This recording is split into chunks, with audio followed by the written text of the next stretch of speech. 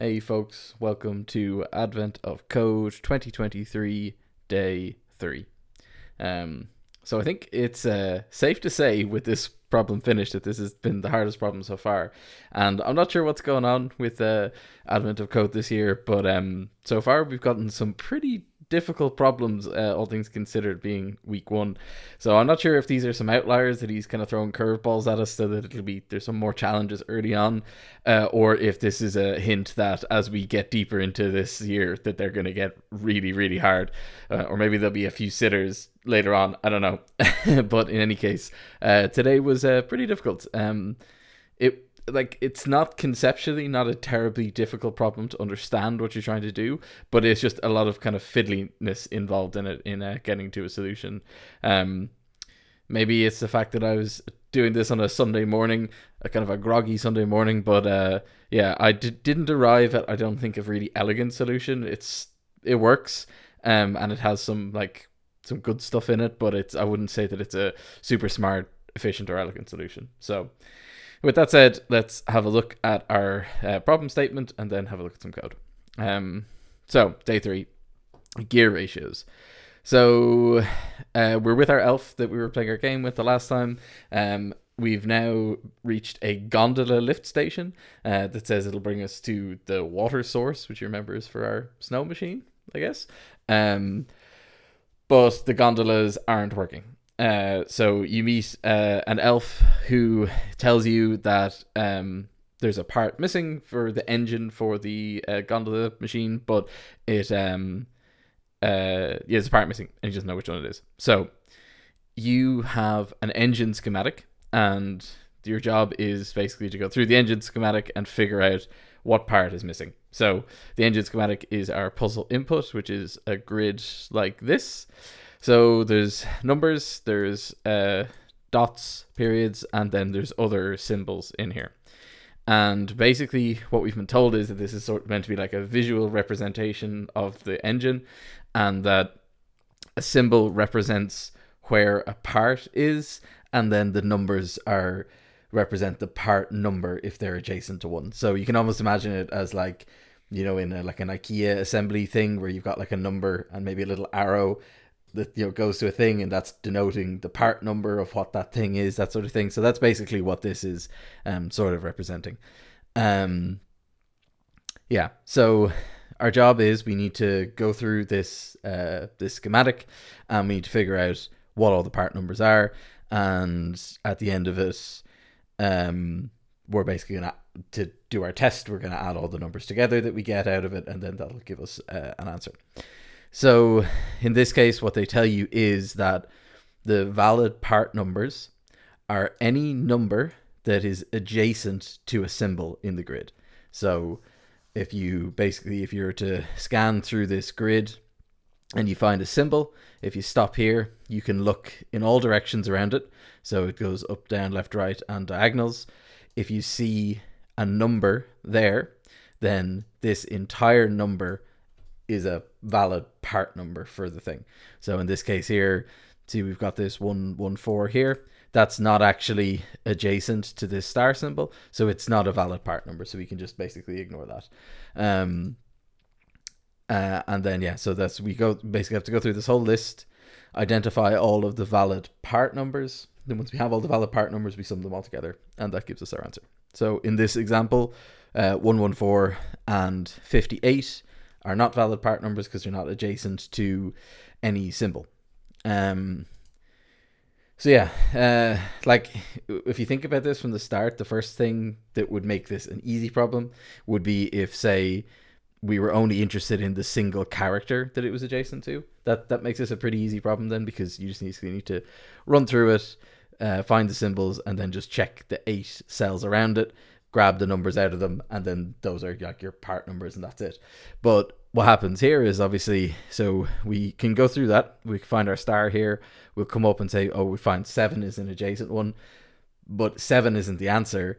It's the entire number that it's part of which is 467 so you have to find the location for where it touches it and then you have to figure out along that line what the actual number that it is uh, is touching it. So like if you were to So yeah, if we're here as a good example, we can go up and we sign six, and then you go, okay, well now I need to keep checking. We need to check to the left and the right, and you need to see what the full number is. So in this case, you have to go up and check left and say, oh, there's nothing there, so that's fine. So then you go, you see it's six, and then you go, okay, let's check right. We see a three, okay, let's check right again. We see a three, okay, then we check right again. Okay, there's nothing there, so the number is six three three. Um, so that's the kind of like parsing logic that we're having to implement for this, which just makes it more difficult. It's not, again, it's not a conceptually difficult thing. It's just sort of fiddly. Um, so yeah, that's what we're trying to do. Um, let's have a look at some code and see how I implemented that. Uh, so, right, first things first, uh, I define so this is like a, a two dimensional array type problem. Um, as in like a grid, you have X and a Y and everything's populated in there. Um, the thing that I found in general with these advent of code problems is if you were to implement this as a two dimensional array, in this case, it will it would work fine. You just basically loop through it and check all the values. Um, but there are points where the solutions, especially later on in advent of code, normally lead you towards you're not going to be able to use a 2D array for this because there's going to be so many points or so much data that you're basically just going to blow up the size of the array and you wouldn't be able to actually operate on it and like just iterating through it alone would take far too long. So what I do kind of almost by default now is when there's a 2D array problem, I try and break it down to something where I don't have to store an entire two-dimensional array to represent all the data. So with that said, I've got two data structures that I've created. One is uh, it's a, a Ruby hash or a dictionary or a hash map um, for all the numbers and one for all the symbols. So this is a pattern that I've come across that I think works quite well in the past where you make a hash or a dictionary or whatever where the key is the xy coordinate and then the value is whatever value you want to store to represent. So in this case, I have a, a, a, dictionary of all the numbers where I'll store the xy coordinates, and I have a dictionary of all of the symbols where I'll store the xy coordinates. So the first part is to populate those dictionaries. So we'll iterate through our input file, check each line, go through every character. Um, we can skip if we find a character is a dot because they don't mean anything in this instance. Um, if we have a number from 0 to 9, or character number from 0 to 9, we'll add that into the numbers list with the xy coordinate. And then anything else we add as a symbol into the list because we're not told, we're just told that a dot doesn't count as a symbol and a number is a number. So anything else should just be a symbol, I suppose. Um, okay, so we now have our two lists. We have a list of all of the numbers and we have a list of all of the symbols. So the first thing we should do is we should go through all of the symbols and we should try and find in those eight squares around it, are there any numbers near them? Because we know that if we find a single digit anywhere in those eight, it is connected to a larger number. So in this example, say if you found just a single digit, so it could be a single digit number, so just one character, so that would be fine. It also could be a two digit number or it could be a three digit number. Now, that's a complete assumption that there could be that three digits is the biggest you can go to. Um, in this case, it happens to be, I think that it can only be three digits. Um, I'd love to see other inputs to know is that 100% true, but the sample only has three and my input only has the largest uh, number continuous characters of three. So I assume that's the case. Um, but yeah, so we know that if we encounter in those any of those eight squares, if we encounter a single digit, we know that it is either the number or it's part of a larger number. So there, we know that those numbers that we've identified are the only ones that we're actually going to be ever interested in. So any other number that's in our big list of numbers, we don't care about it because um, it's not connected to anything else, so it doesn't matter. Um, so with that in mind, the way we do that, or the way I've done it, is I basically loop through every single symbol that we have. So remember, this is a key breaking down our XY coordinates. And these are our check locations. So this is this very simple grid pattern check. So it checks uh, up and down, left and right, and the, the two diagonals. Um, and effectively what I've done is I've just made another key out of those to make eight different keys to check, which is the the, circle around it. Um, what I do then is I add to this adjacent numbers uh, hash. So this is it's another hash of the numbers, except in this case, what it is is it's only the adjacent ones that we'll be interested in. And the way I can, the way I do that is, I go through here, I check, uh, are is there a number at that location? If there is a number at that location, then I know it's an adjacent one, so I can pop it in. Um, so yeah, that builds us up another list, another dictionary of just the numbers uh, that are adjacent to a symbol, or at least just the digits that are adjacent to a symbol, right? So the next part then is once we know which numbers are adjacent to a symbol, then what we have to do is we have to figure out, well, what's the entire number? Is it just a single character? Is it two characters? Is it three characters? What is the actual part number then out of that? Um, so this is kind of what got my brain cooking a little bit. I there's definitely a better way to do this. So I've broken this into basically three distinct steps. The first one is identify our numbers and symbols. The next one is figure out which numbers are or part of a number is adjacent to a symbol, and then the last part is figure out what the entire number is based off a single character that you have from that number. Right. So at this point then that's uh, this is kind of it's a little bit difficult this isn't super nice but it, it works doesn't fine so we know that we have uh, for any of those adjacent symbols we know or adjacent, numbers we know that we have a single character and we know its coordinates so based on that we need to try and figure out we need to look to the left of it and we need to look to the right of it to see what other characters are in the original list so um, I can maybe I'll just type it out here, be a little bit easier to see. So if we imagine if we have dot and then we've got one and we've got two and we've got three and we've got dot. So let's space these out a bit. So in these positions, let's say for example, this is our uh, our our uh, the the one that we detected. So this is our adjacent number. So from here, I know that looking at this, I know it's one, two, three. So if I'm in the very center, how do I determine what that actually is? Well, I need to look to the left and I need to look to the right to see what other characters are there. So if I look to the right, I detect this three. So I know that's part of the number. And then if I look to the right again, I detect a dot, which I know isn't part of the number. So I can just stop there. But then I also need to look to the left to see what else is part of the number. So if I look to the left, I see a one, that's fine. Look to the left again, I see another dot, so I know I can stop there and I know I've detected three numbers, one, two, three, and then I can basically combine those together to make a single number out of it. So that's a simple case, and that's like one of the nicest cases. But the thing is, it's not all three digits. It can be one digit. It can be, you know, uh, it can be one digit. It could be two digits. It could be one, but it could be three, whatever. So the other cases you could have, say, you could have something like this, where it's like this. So in this case, my three here is what I've detected first. So now I need to look to the left twice to find that. And if I look to the right any amount of times, I'm going to find uh, dots. So I know that I can ignore those. Anyway, that is to say that there's a pattern that you need to check here. There's basically three different uh, sort of patterns. You can check like, you know, two to the left in the center or two to the right and then see what's there. Uh, but then you could also have a case like this, say. So this is what you could end up detecting.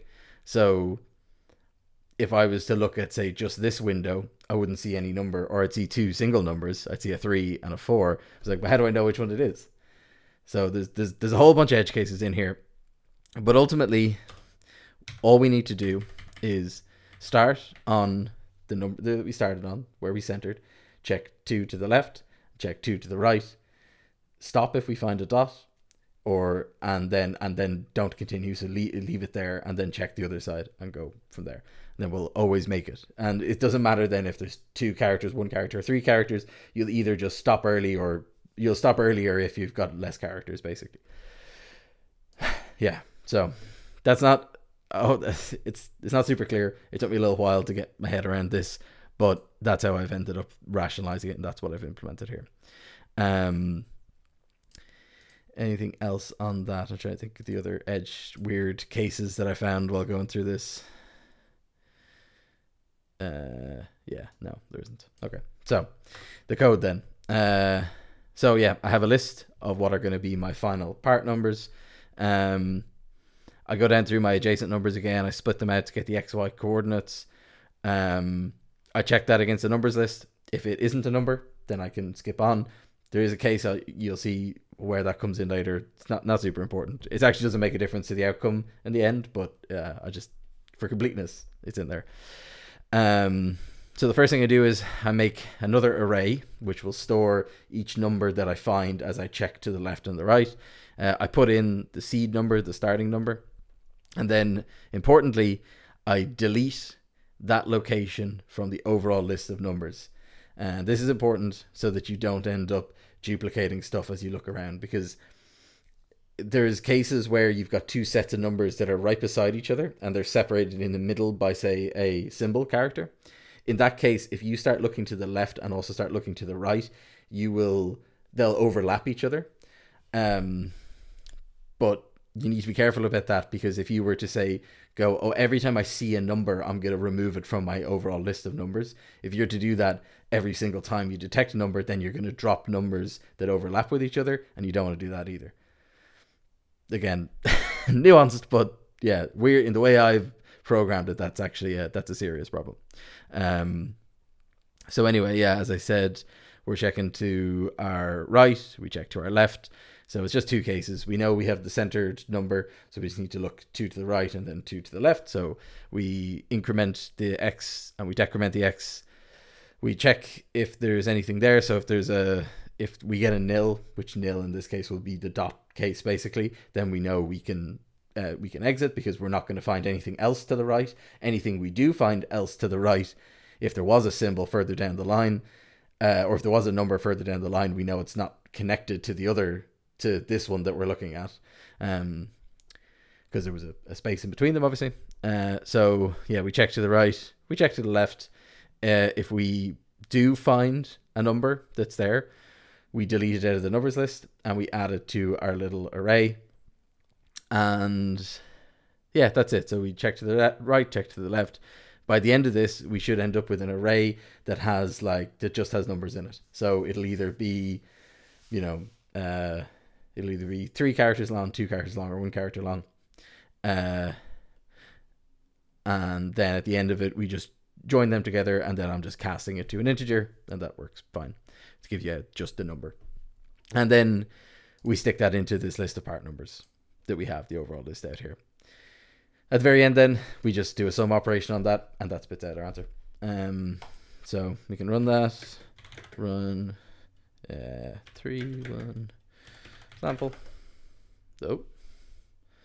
What? Oh, not dot slash run. Oh, dot slash run. There you go. And that's the that's the example answer. Uh, input. My input runs. Yeah, and it's pretty slow.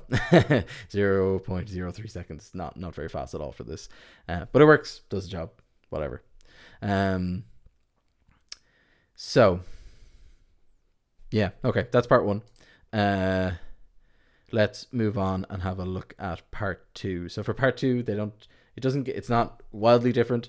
Um, I had to make just a few small tweaks to how I organize this, and then uh, part two worked pretty well. Um, I should actually say that the thing, the assumption that I'm saying about the three, two, or one digit number thing, that only really makes a difference to this part of the tests down, this part of the code down here. So if you are to make an assumption about how long each number could be, uh, this is where it would make have an impact. So the amount of digits that I check to the left and right has to be basically so that at all, at all bounds that you would go out to the left and right, you'll cover poss- the possibility of the number being that long. So in this case, it's it's three characters. I know I'm starting at one, so I just need to go out one, two more characters. If it was five, you'd have to go out one, two, three, four more characters, and so on and so forth. So this simplifies it if I'm just making the assumption that it's three, and I think that's a good assumption in this case. It happens to be a correct assumption in this case, so that works fine. Okay, so part two. Let's have a look at the second part. So that works, and your gondola starts moving. Uh, you're on the way, but you're moving really, really slowly. So you pick up a help telephone and uh, in the gondola, and you talk to the elf on the other end, and they say that the problem with the engine wasn't just that it was missing a part; it was also that some of the gear ratios inside the machine are wrong. So you need to figure out what all the gear ratios are inside the machine. So they tell us that a gear ratio is defined in the schematic by any star symbol that is adjacent to exactly two part numbers. Um, so that defines a gear ratio. Uh, so the way you'll get your answer in the end then is you'll find every gear ratio pair in the schematic. You'll multiply each gear ratio together and then sum them all up, and that'll give you your answer. So in our sample, we've got uh, 35 and 467 here, and they're uh, connected or they're uh, both adjacent to a star, and they're not. There's nothing else adjacent to them, so those two are a gear ratio. Uh, we've got 617 down here, which is adjacent to a star, but there's just a single value, so it's not a gear ratio. And then down here, we've got 755 and 598, and they're adjacent to a star, and there's only two of them, so they are a gear ratio. Uh, and then if there's a if there was an, a third or a fourth or a fifth also or third or a fourth, I don't know, can there be a fifth? Maybe yeah, whatever. Adjacent to it, they wouldn't be either, so it's just two. Um. Okay, so how do we do that? The first thing I think that we're going to think of doing is we can discard all other symbols now, except for star symbols, which kind of uh, reduces our uh, search space by quite a lot that we have to work on. So if we have a look at the code, the first thing that I've done for that is up here at the very start of our uh, logic where I build up our two uh, sets. We still need all the numbers, so that's fine. We'll pull in all the numbers. But the only characters that we're interested in now are the star characters. So uh, instead of this was just an else before where I didn't care what characters I found uh, and I'd add them all to the list. Now I only want to add the star characters to the list because that's all I'm interested in. So I do that. I add all the star characters to a list and that's fine. Uh, so the next thing that I need to do is still we need to find all the adjacent ones, but there's an extra little bit in there where now I need to know what numbers uh, are grouping together to be adjacent to what symbol. So to do that, what I've done is so in the first part uh, where we figured out our adjacency, I didn't care what they were adjacent to because all that mattered was that they were adjacent to a symbol. But now I actually do care because I want to group together what numbers are adjacent to the specific symbol so I know how many are adjacent to any given symbol. So I make a slight modification to this method or to this part of the code that figures out the adjacency. And what I do is, if I find an adjacency, I added into, so we're still using like a dictionary to model this, except instead now it's sort of a nested dictionary. So the first key that we put in is the location for our symbol. And then underneath that location for the symbol, we're going to put in all of the, the points that are adjacent to that. So it's the same thing. We figure out what ones are adjacent, but in this case, we're just grouping them into uh, a bucket underneath that symbol. Um, and that's it. That's really, this is really the key difference because this is what is going to allow me to figure out how many numbers are adjacent to a given symbol. Um, so then when we come down to our final part down here, where we're parsing uh, out, trying to figure out the full number itself, uh, it's basically the same thing again, except again now it's just one nesting deeper, so that I do it for each uh, grouping that I figured out. I figure out what the full numbers are, uh, and then at the end of it, that just gives me that gives me uh, another like hash out of it. Except in this case, each the value of each hash is an array of numbers, and they're an array of part numbers. So I know that the part numbers I'm interested in in this case are going to be the ones where there are two values there. So I check the length of the array. If there's if it's two, then I know that's a gear ratio uh, pair. So I pull that out. Um, and that's basically all I need to get my answer. So once I have all those gear ratio pairs, uh, I'm doing a map operation here. Just go through the list, multiply together each pair, and then sum together everything at the end. That's it. So yeah, not terribly complicated. The second part doesn't doesn't really up the ante a huge amount. It just sort of changes the problem a little bit. Um, I had to do a slight modification here on how I was modeling my data, but it didn't really wasn't really a massive didn't rechange it in any material way. I could have ended up I could have implemented this way in the first place had I been thinking like, oh maybe we'll have to do something with the exact symbol. Um, but I didn't because I didn't really think of it. Um, but it was not terribly complicated to go back and change that after the fact. So that's that. Uh, yeah, this is definitely the most complicated problem we've had so far.